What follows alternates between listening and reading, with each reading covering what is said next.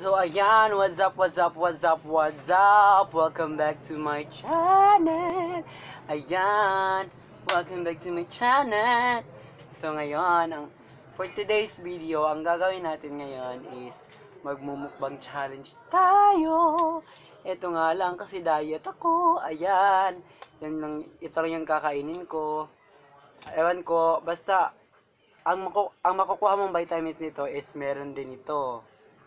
Ayan. Tapos meron din dito. Ayan. Tapos ito yung ano ko, lemon. Fresh na juice. Ayan. Ara. So, ito ang taste natin. Mm. Maasim. Pero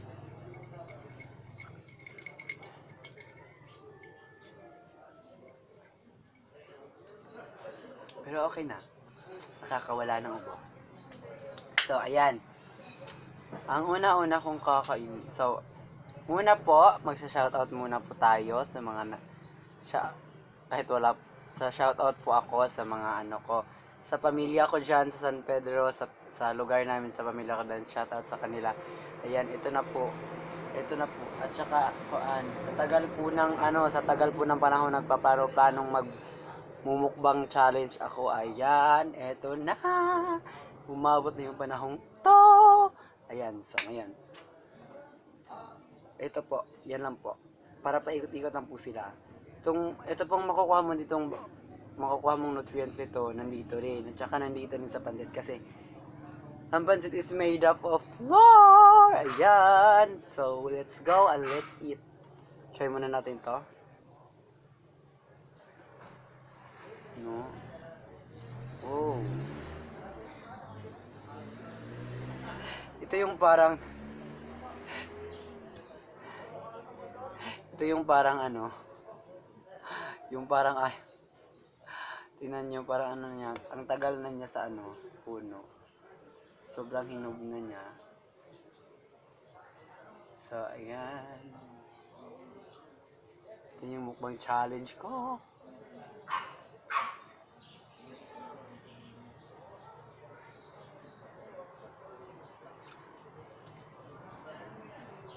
May twist pala ako, ubusin ko lang to ng 4 minutes.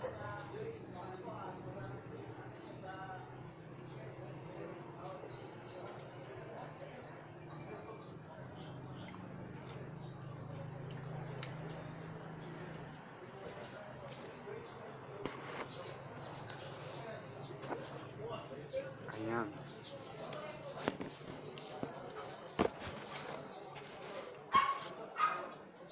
Ayan. Ano naman ite? Pancha.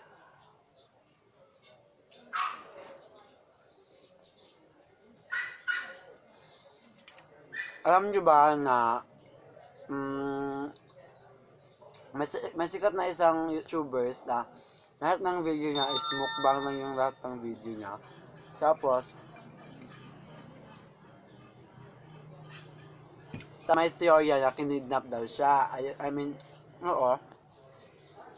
Wala ng, Yu- wala ng YouTubers na yun, K-Trap. Ang theory daw is, pinipilit siyang gumawa ng video, ng video na ano, na, na mukbang. Ang daming pagkain guys, as in sobrang dami. Lahat siguro ng lamesa puno, tapos uubusin niya yon. Tapos ang theory is may ano, may may may kumisan sa kanya, pinapapilit siya kumain kahit ayaw niya niya kasi nga alam niyo naman guys, kapag busog tayo, wag niyo napilitin kasi ano ka anak ang ang magka, magkakaroon ng ano, masamang up epekto yan sa inyo. Ayan.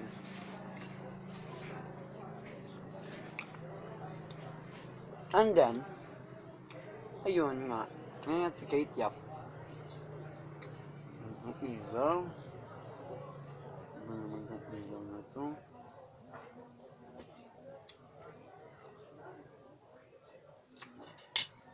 ito rice. Rice lang po. Pamilya lang kasi ito eh. Pamilya ng ano. Parang protein ata ito makukuha dito. Protein tas protein protein. Ngayon ito magkakaroon ako naman daming protein nito.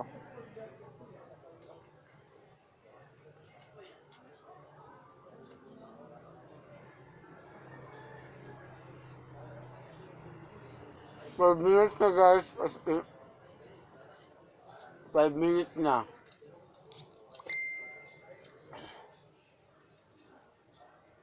So, dapat aos na ito.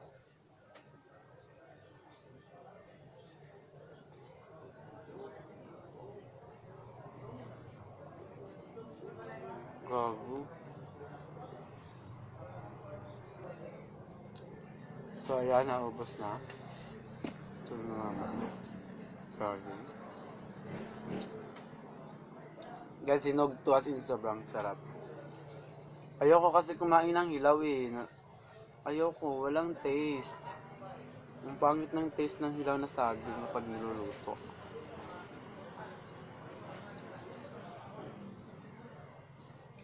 Oh my god.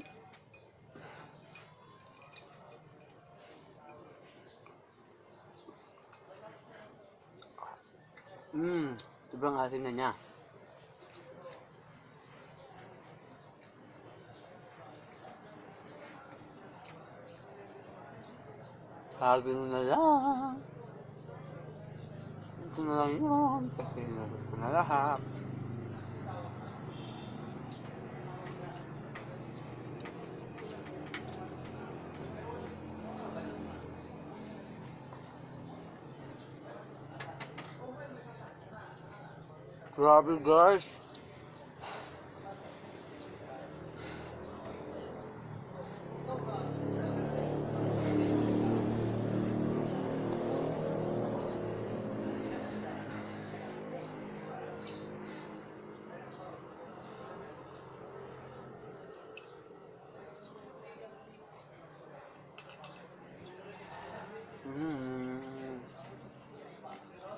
dami kasi ng limon na inanok ko.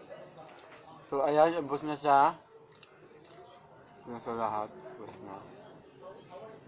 So, ayan guys, finally successful yung mukbang challenge natin. Mukbang challenge successful. Ayan, dyan, dyan, dyan, dyan. Mukbang challenge successful yung mukbang challenge natin guys. Ayan, successful yung mukbang challenge natin. So guys, if you do, mm, if you do, if you like this video, if you like my video, ayan, just, if you like this video, don't forget to like and subscribe to my channel, and click the, and click ang the, and click the, the notification bell para ma, para mag, para, para ma-update kayo sa mga bago kong video. Ayan. Huwag kalimutang subscribe to